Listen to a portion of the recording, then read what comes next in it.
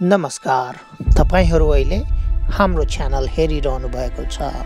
सामान्यतः रक्सी सेवनले बेफाइदा गर्छ भन्ने आम धारणा हुन्छ।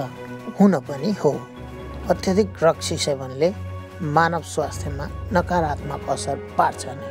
र आर्थिक तथा सामाजिक हिसाबले पनि रक्सी सेवनका अनेक बेफाइदाहरू हुन्छन्। तर के तपाईँलाई थाहा छ? रक्सी सेवनले मानिसको आयु बढाउँछ।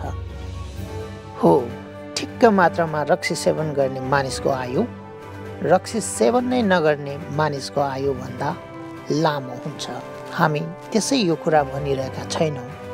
यो तथ्य स्वास्थ्य क्षेत्रमा भएका पछिल्ला विभिन्न अनुसन्धानहरूबाट पत्ता लागेको हो।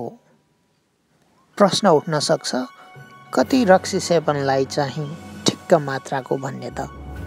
दैनिक दुई ग्लाससम्म बियर या वाइन सेवन गर्ने मानिसको अल्पायुमा मृत्यु हुने सम्भावना अन्य मानिसहरूमा भन्दा अठार प्रतिशतले कम देखिन्छ।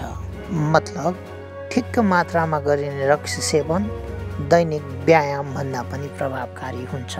यति भन्दै गर्दा गर्भवती महिलाले भने रक्सी सेवन कुनै पनि हालतमा गर्नु हुँदैन। गर्भावस्थामा रक्सी सेवन गर्ने हो भने शारीरिक तथा मानसिक अपाङ्गता भएका शिशुहरू जन्मने सम्भावना हुन्छ। थप यस्तै भिडियोहरूको लागि हाम्रो च्यानललाई सब्सक्राइब गर्न नभुल्नुहोला।